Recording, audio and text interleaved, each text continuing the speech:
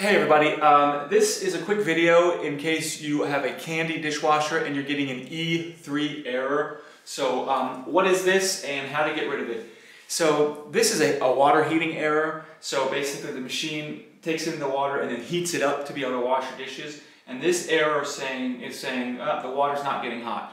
So um, this can really come from one of two things. The first thing is that you might have a problem with the actual heating unit and you're probably going to have to call out for help on that. Um, the second thing that could be causing it is the control panel. Could be, you know, it could be wiring or something between it and the, and the um, heating element.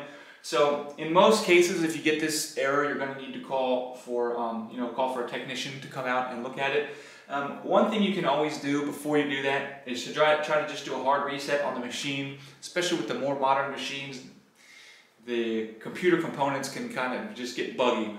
Um, so you can just turn it off and unplug it from the wall, remove it completely from power for 30 seconds to a minute, and then uh, plug it back in, and uh, hopefully that'll get rid of the error. If it doesn't, you're probably going to need to call um, for a technician to uh, fix your machine. So anyways, hope this video helped you. Thanks a lot for watching. Have a great day.